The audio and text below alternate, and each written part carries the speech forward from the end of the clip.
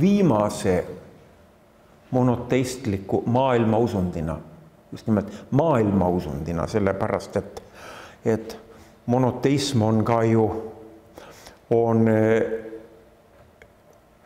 monoteistlikke väiksemaid usundeid on ka hiljem tekkinud, aga just nimelt maailmausundiks tekkis seitsmenda sajandi alguses Araabia poolsaarel islam ehk siis araabia keeles aslama allutab end. vot see on, vot siis, vot see on just täielik niisugune spetsiifiline allumisreligioon. selle lähtekohad peituvad muistses Araabias kõrbenomaadide paljude jumalustega religioonis, palju jumalusi, igas oaasis elav hõim, neil olid enda omad. ainult kõikidele oli üks ühine. nimelt taevajumal.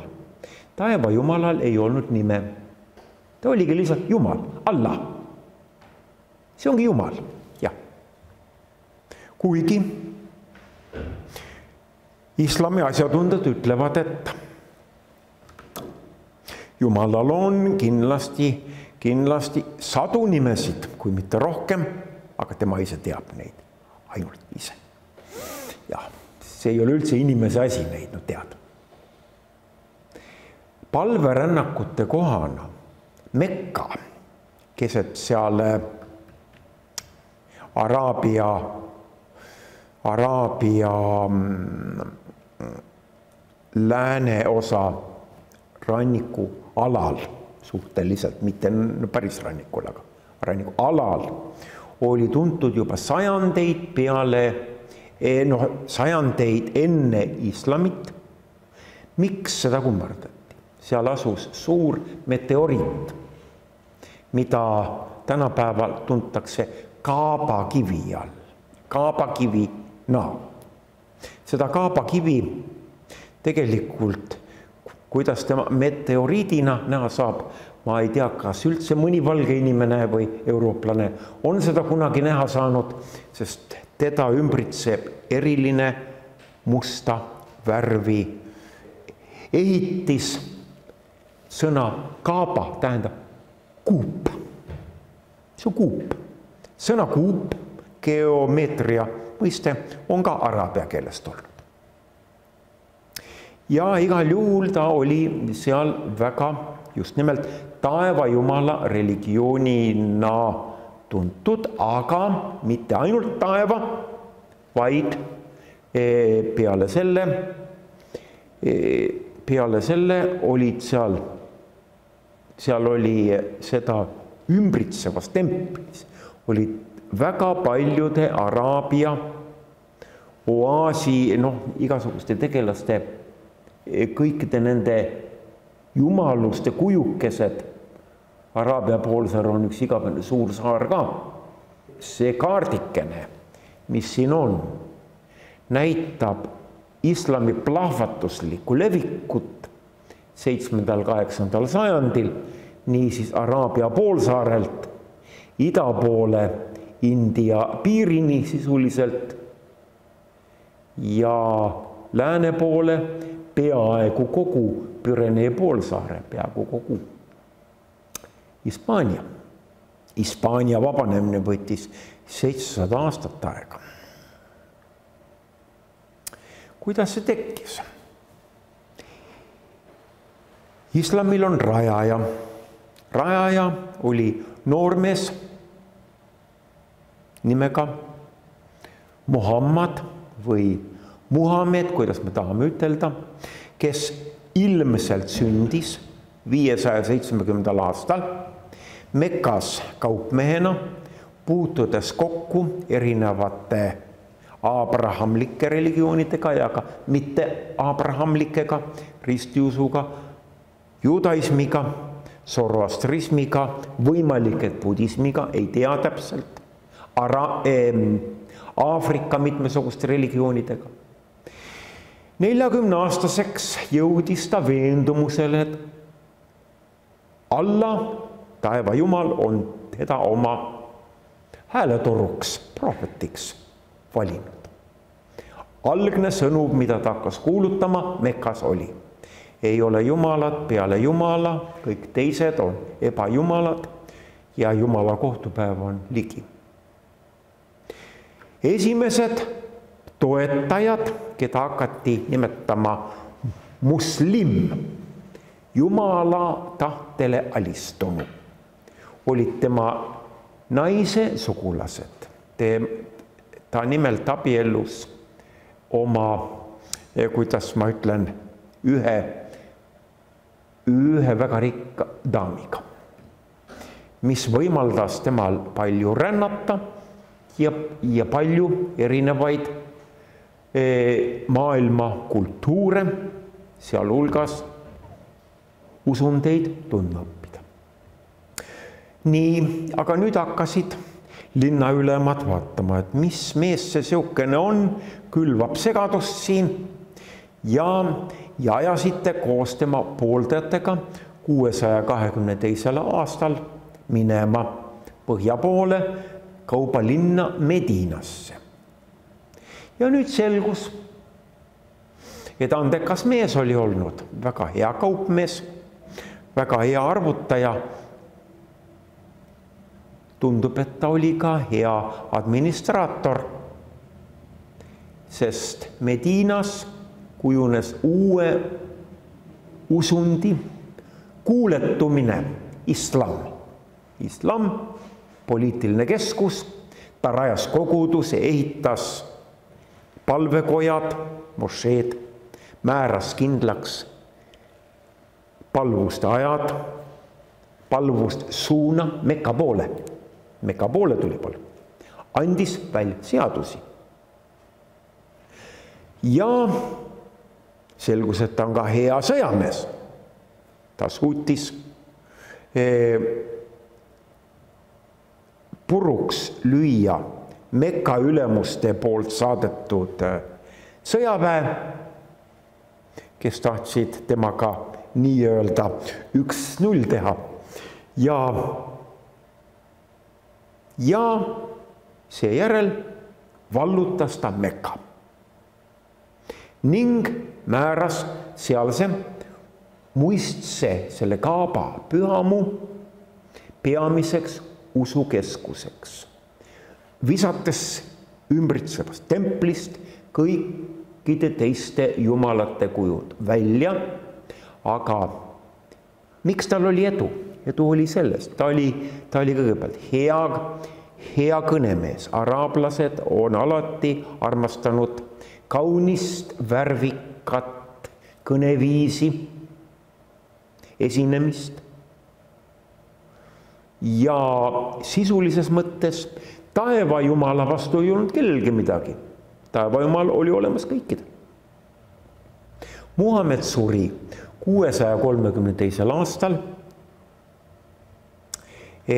Medinas, Medina hakkas talle nähtavasti meeldima, sellepärast ta seal, sinna siis ka tagasi läks ja on sinna maetud. islami seisukoha järgi ta oli inimesena taeva Jumala Allahi viimane saadik, prohvet, kes vahendas inimesele Allahi tahet ehk Koraani. Koraan on ka eesti keelde tõlgitud meil kenasti. nii Koraani tõlkija on Haljand Udam paraku lahkunud meie seast. ja siin on avatud Koraan. Koraan koosneb Muhamedi ilmutustest siia juurde kuulub ka Muhamedi kohta käiv pärimus ehk sunna. tekst pandi kirja ja redigeeriti peale Muhamedi surma seitsmenda sajandi keskpaigaks. aga islami doktriini järgi on Koraan taevase originaali täpne koopia, originaal asub taevas ja kui Muhamed sai esimese ilmutuse, siis peaingel andis talle raamatu ja ütles loe. Muhamed oli kirjaoskamatu, kirjaoskamatu küll. ma ei oska lugeda, loe. ja ta hakkaski lugema. ja nii hakkas tema kuulutama ja kokku pidas tema sada neliteist, sada neliteist eh, jutlust või ilmutuskõnet väga vahvas ja eh, säravas värvikas keeles. Neid nimetatakse suura, suura ehk siis noh peatükid, peatükid. Koraan ise sõnana tähend-, tuleb sõnast kara, lugema. see on lugemiseks mõeldud. nii, ja isegi on niisugune eh,, niisugune jutustus, teol, teo või teoloogiline noh, kommentaar kus eh, kui inimene sureb ja ei ole, ei ole usklik olnud, siis, siis esimese asjana ilmub mõõgaga ingel ja küsib usutunnistust. kui ei tea, siis on küsimus, kas sa ei ole midagi lugenud? on kohe esimene küsimus. nii. ja nii, et ühesõnaga aga mis on nüüd oluline? võime teda tõlkida küll igasugustesse ja lugeda kõik, aga tõeline ja ehtne on ta vaid araabia keeles. nii nagu Jumal selle Muhamedile ilmutas, siis on ta täisväärtuslik. muidu on ikka, sa võid teda lugeda palju sa tahad, aga, aga kas ta siis ikka, kas ta siis ikka päris on, sellepärast on tungiv soovitus eh, islami pooldajale või kes tahab islami pooldajale hakata, õpi ikka araabia keelt ka. no ja, mida siis Koraani, Koraan õpetab, kõige, kõige tähtsamad asjad. Jumal on ainus ja igavene. ta on looja, ta on armuline ja ta on kohtumõistja viimsel päeval. teiseks Jumala omaduste kohta. ta on kõikvõimas, ta on kõiketeadja, ta on kõik ette määranud.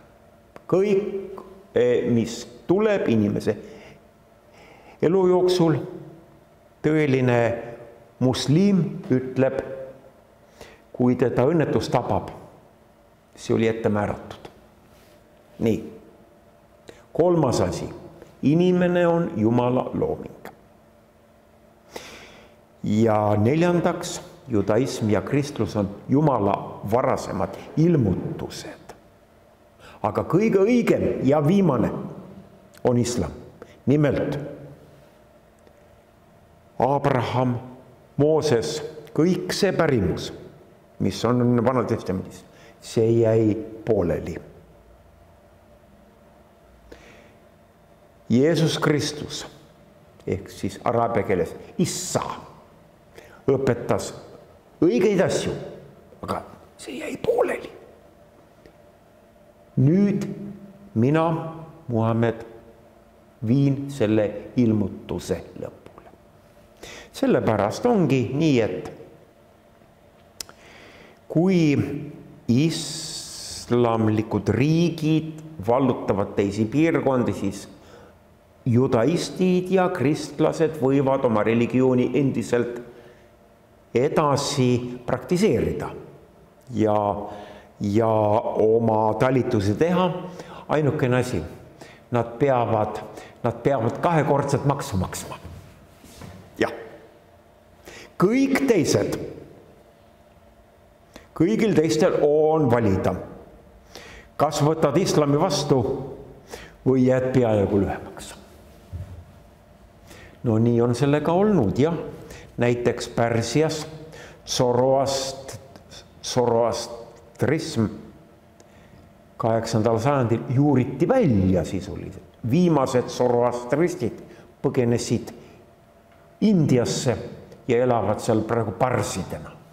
nüüd nad küll olevat nad tagasi lubatud no osa. nii et niisugune on see eh, Koraan. ahah, tema struktuur on veel selline, kõigepealt on kõige lühem, see on, see on usutunnistus, mis võiks kõlada eesti keeles lühidalt ei ole Jumalat peale Jumala ja, ja Muhamed on tema saadik. siis tuleb teine suura, on kõige pikem suura. siis lähevad nad aina lühemaks ja lühemaks kuni lõpuni välja. Koraan on musliimi õpetuse ja eluviisi noh, absoluutne ja tingi, tingimatu vorm, absoluutne. Nii. Mida siis on, mida peab järgima ja mida? Tegelikult teoloogilises mõttes on, on islam lihtne õpetus võrreldes budismiga, kus on tohutult keerukas filosoofia, Mahajana budismis või võrreldes eh, noh, väga hinduismis on seitse suurt filosoofilist keelkonda ja isegi oma loogikasüsteem. Islamis midagi sellist pole. islam on väga lihtsalt kokkuvõetav. viis sammast nimetatakse, viis peamist ettekirjutust. kõigepealt esimene, kõige tähtsam, usutunnistus. see ongi see absoluutne monoteism, vaieldamatu kuuletumine usk samuti Jumalasse, tema teenritesse, inglitesse, Koraani pühadusse, ettemääratusse, viimsesse kohtumõistmisse. korraks tagasi minnes tuli meelde inimesega seotud asjaolud. inimene on Jumala looming. selle kohta on niisugune, niisugune teoloogiline seisukoht mida islami õpetlased on määranud, see kõik tugineb Koraanile ja tema tõlgendamisele. jumal lõi inimese ja puhus temasse hinge. nüüd kutsus ta kokku kõik omad inglid ja teenrid, kes tal seal on ja ütles, see on minu looming, kõige parem looming, kummardage tema ees. kõik kummardasid peale ühe ingli nimega Iblis. Iblis ütles, mina kummardan ainult looja enda ees, mina ei kummarda loodu ees. aga Jumal vihastas ja ütles sa jätad minu käsu täitmata ja hakkad mulle vastu. Sa oled hukka mõistetud, kuid ma luban sul kuni viimse päevani kiusata inimesi. ja, ja siis leiad sa ise ka karistuse. see oli saatan. see on saat-, lugu saatana tekkimisest. ta jättis Jumala käsu täitmata, seepärast ta mõisteti hukka. Jumala käsk on absoluutne nii, ja nüüd oligi nii, et eh, lugu inimese loomisest ja saatana tekkimisest. nüüd edasi, kui me tuleme nende sammaste juurde, teine väga tähtis, palvetamine viis korda päevas näoga Meka poole. ka surnut maetakse peaga Meka poole. palvetamine on Meka poole enne peab rituaalselt ennast pesema. kui sa oled kõrbes, sul ei ole vett, siis sa võid ennast liivaga hõõruda. palvuse ajad on väga kindlad. päikesetõusul, päikese loojumisel, keskpäeval ja, ja eriline templiteener Muessin hüüab pühakirja või, või pühakoja ehk mošee torni ehk minareti otsast palvusele. ja nii on viis korda palvetamist, noh, seal, kus inimene on ja seal, kus ta kuuleb, et nüüd tuleb hakata palvetama. Mošee jumalateenistusele, see tähendab päris templisse, mošee jumalateenistusele minnakse reedel. reede on see nii-öelda pühapäev, kuigi seda ei saa pühapäevaks nimetada, sest nii, sest kui, kui palvus mošeest läbi on, siis minnakse jälle tööle tagasi. jah, niisuguste seitsmendat päeva ei ole olemas. või nii nagu, või nii nagu juutidel on, on sabatipäev, niisugust asja ei ole olemas. kõikidel päevadel tehakse tööd, ainult et reedel käiakse, käiakse hommikupoolikul mošees palvetamas. no tänapäeval muidugi on nüüd juba enamikus islamimaades ikkagi, ikkagi on ikkagi puhkepäev ka, see tähendab seda, et siis ei pea reede enam tööle minema. jah, aga see on iga reede. nii, spetsiaalset preesterkonda ei ole, sest neid noh, keda meie mõistaksime vaimulikena Need on tegelikult eespalvetajad või jutluse pidajad või koguduse juhid, aga nad ei ole vaimulikud. vaimulikud nad ei ole. nii et see on niisugune spetsiifiline asi.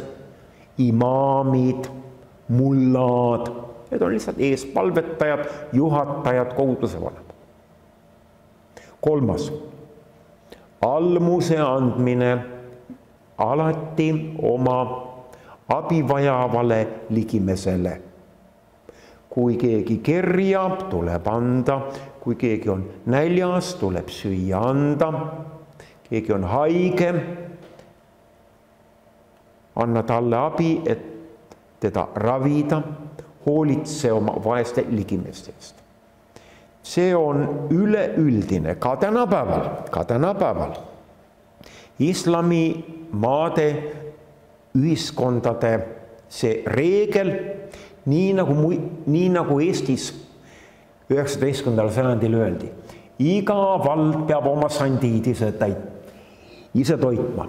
jah, täpselt nii ongi, et eh, noh, reeglina üleüldist pensionisüsteemi ju ei ole.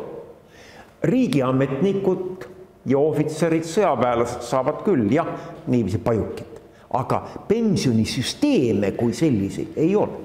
nii et iga perekonna suguvõsa liige ligi hoolitsevad ise oma ligimeste eest. mis on iseenesest väga kena komme. Nüüd on siis paastumine, see on üks raske asi, paastumine on raske asi. kõige tähtsam paast on Ramadaan Ramadaani ajal ei tohi koiduajast pimeduse saabumiseni süüa ega juua ja loomulikult ka mitte suguelu elada. öisel ajal piirangud puuduvad, siis võidakse isegi pidu pidada. aga eh, Ramadaaniga on niisugune paha lugu, et kuna islami Eh, aja arvamine põhineb kuukalendrile, mis ei ole mitte kolmsada kuuskümmend viis päeva. siis on see muutuv. ja Ramadan võib langeda ka väga ebameeldivale kuumale ajale. Siis on teatud leevendused teatud inimestele. rinnalapsed, haiged imetavad emad viimaste kuude rasedad, nendel on vähemalt joomise ja minim- ja minimaalse, minimaalse söömise õigus. Teistel mitte, teistel mitte. ja muidu alkoholist ei või üldse rääkida. jah, sellega on omaette lugu. tungivalt soovitatav on palverännak Mekasse üks kord elus. siin ongi pilt meil, kuidas on see Mekka pea mošee, õu on rahvast täis ja keskel on must kuup. selle kuubi sees on ilmselt meteoriit. ma ei tea, kas on keegi valge inimene näinud üldse seda meteoriiti. jah. nii, mis siin veel on? eluviis ja moslem ei või tarvitada alkoholi, süüa sealiha, veretoite, poisslapsed tuleb ümber lõigata. seda toimetatakse alates kaheksa päeva vanusest. Juba Muhamedi eluajal juurdus džihaad. džihaad on siin, no tema tõlgendas seda uskamatute vastane püha sõda. aga tegelikult džihaad laiemas mõttes tähendab usklikku püüdlust e, olla igatpidi väärikas moslem. aga spetsiifiline tähendus on see e, islami missioonitöö ükskõik mis vahenditega, ükskõik mis vahenditega. piltide kummardamise keeld, seetõttu olidki kõik need suured skandaalid. Taani ajalehes see algus, ühesõnaga Muhamedist viljapilte tehti. mošeedes reeglina ei ole mingisuguseid mingisuguseid inimeste ja loomade kujutisi, mõningad erandid. Hispaania, kui Hispaania oli allutatud eh, eh, Cordoba kalifaadile, siis huvitav, huvitav, Alhambra lossis on koguni lõvikujud. Eh, niiviisi purskkaevu, purskkaevu juures. Nii, ja üks erand on veel. Pärsia islamis võib kujutada ka eh, inim eh, noh, toiminguid väärikates situatsioonides ja Indias ka samamoodi. aga India ja, ja, ja muist-, kuna India islam tuli muistsest Pärsiast, siis seal olid reeglid mõnevõrra leebemad ja seetõttu India islam on ka näiteks Araabia omaga või ka tänapäeva Iraani omaga ikka võrdlemisi leebe oma hoiakute poolest. ja üldse mingisugust eh, noh, sellist eh, suurt radikaalset radikaalset asja ei ole. surnu tuleb matta võimalikult samal päeval enne päikeseloojangut. naine ei tohi katmatuna end avalikult näidata. seetõttu on kõik need nii, tähendab erinevad kehakatted alates äh, sellisest, kus ainult silmad on avatud, kuni võib-olla lihtsa, lihtsa korraliku pearätikuna näiteks nagu Jordaania. Jordaania kuninganna käib isegi niisama palja peaga ringi, midagi hullu ei ole. mees tohib pidada kuni neli naist, kuni neli naist, aga ta peab suutma neid üleval pidada. mehel on õigus ennast naisest lahutada, kasutades, kasutades usutunnistust ja üteldes kolm korda, ma lahutan end sinust, ma lahutan end sinust, ma lahutan end sinust. ma ei tea, kuidasmoodi see on ju juriidiliselt paljudes maades regul-, reguleeritud, aga, aga vähemalt, vähemalt Türgi Osmani impeeriumis oli see õigus sellisena olemas. Koraani õigus ehk, mis on see Koraani õigus? muistne islami eelne araabia õigus, taljoon, taljooni õigus, silm silma, hammas hamba vastu ja kõik nii edasi.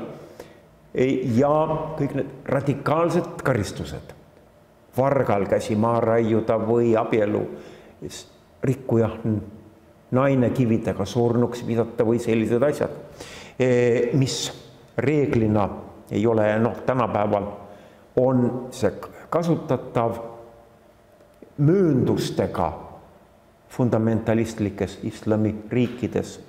üks, mis meelde tuleb, on Nigeeria. Tõenäoliselt on ka. Ja Saudi Araabias oli see hiljaaegu veel, aga nüüd on ta mahendatud. Tänapäeval võib Saudi Araabia naine isegi auto, isegi autot juhtida. jah, ta võib isegi restorani minna. muidugi mehega, jah, enne ei võinud, enne ei võinud mehega ka minna. Nii, siis edasi, aja arvamise algus, kuussada kakskümmend kaks, Muhamedi pagendamine Medinasse, kolmesaja viiekümne nelja päevane kuukalender, ega see ikka lihtne ka ei ole küll nii, levimine. see kaart siin näitab islami levikut kahekümne esimesel sajandil. püha vallutussõda, džihaad, algas Muhamedi eluajal. no need, need on küll huvitavad faktid, kui kiiresti see asi käis. kahekümne aastaga vallutati Lähis-Ida. seitsmenda sajandi lõpuks Põhja-Aafrika kuni Atlandi ookeanini, Pärsia kuni Indiani. kaheksanda sajandi alguses Hispaania, Hispaania niiviisi tekkis Araabia kalifaat. ja oleks läinud edasi, kui aastal seitsesada kolmkümmend kaks hakkas džihaad tulema üle Pürenee poolsaare praeguse Prantsusmaa aladele. Siis karolingide väejuht Karl Martell, Martell tähendab vasar, võttis nad vastu ja, ja andis nendele Poitiers lahingu. Poitiers lahingus löödi see sõjavägi puruks ja peatati moslemite sissetung Lääne-Euroopasse. vastasel korral jah, mina ei tea, mis usku me siin oleks. nii, kaheksandal sajandil tungisid araablased Indiasse, Kesk-Aasiasse, Loode-Hiinasse, Loode-Hiinasse. noh, Hiinas ei ole neil hästi läinud. uiguurid, kes on islamiusku, on, on rõhutud rahvas tänapäeva Hiinas ja ega juutidel ka pole Hiinas hästi läinud. nimelt, mis juhtus e,? igal pool, kuhu on juudid emigreerunud, on nad moodustanud omad kogukonnad, enklaavid on hakanud hästi elama. Hiinas juhtus, Hiina on ainuke koht, kus juhtus vastupidi. Nad hiinastusid miks see nii on? vot see küsimus tähendab minust jäägu küll vastamata. nii, tuhat nelisada viiskümmend kolm Euroopa oli jälle hädas. islami vastu võetud türklased vallutasid Konstantinoopoli ja hävitasid Ida-Rooma keisririigi lõplikult. tekkis Osmanite impeerium, korduvalt prooviti vallutada kuueteistkümnenda, seitsmeteistkümnenda sajandi jooksul Viini, aga ei õnnestunud. Tänu sellele, et nende laagrid pidid põgenema erinevatel põhjustel Viini alt, jäi väga palju maha, sealhulgas kohvikotid. tänu sellele eh, nii õnnestus seitsmeteistkümnendal sajandil niiviisi üks väga tore jook Euroopas otsapidi juba juurutada. nii, siis eh, eriti julm on olnud soroastristide hävitamine Pärsias seitsmendal, kaheksandal sajandil, budistliku kultuuri ja ülikoolide hävitamine Indias üheksandal, üheteistkümnendal sajandil. islami langusaeg toimus ka kuueteistkümnendast kuni üheksateistkümnenda sajandini. Kahekümnes sajand nägi aga Araabia rahvusriikide tekkimist ja fundamentalismi taassündi. nii et kahekümnendal sajandil teame isegi, milline olukord on maailmas. Saudi Araabias valitseb vahabiitlus kui rangelt ortodoksne sunniitlus, seadustik järgib šariaati ehk seda samast ranget Koraani õigussüsteemi. Iraanis valitseb fundamentalistlik šiiitlus. vast kõige ilmalikuma ühiskonnakorraldusega islamiriik on ilmselt Türgi. Egiptuse vabariiklik korraldus, Maroko ja Jordaania monarhistlik islam on samuti võrdlemisi ilmalikud. Aga maailma suurim maa on Indoneesia. kuid nii Indoneesia kui ka India ja Pakistani islam on ajaloolistel põhjustel mõnevõrra pehmem kui Araabias ja Iraanis, kus, kus on veel islam väga levinud Põhja- ja Kesk-Aafrikas, Kesk-Aasias, mujal maailmas noh, niivõrd-kuivõrd on, on moslemite immigratsioon õnnestunud ja juurdunud, niivõrd on. vooludest veel kuuesaja viiekümnenda aasta paiku toimus lõhenemine sunniitideks ja šiiitideks. Sunniidid peavad ennast täielikult õigeusklikeks kaliif Abu Bakri järgijateks, kes oli kaliif. kaliifid olid Muhamedi järglased, eriti usulises mõttes. ka Türgi sultanid kandsid kaliifi tiitlit peale seda, kui nad olid Egiptuse ja Araabia või endised kunagise Araabia kalifaadi maad vallutanud.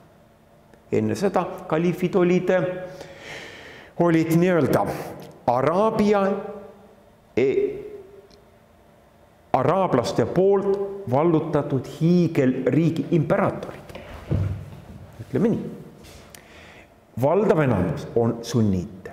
sunniidid tunnistavad ainult Koraani ja sunnat. sunna on pärimus, pärimus Muhamedi kohta. hilisemaid ilmutusi ei tunnistata. šiiidid on kaliif Ali järglased, nad olid sugulased.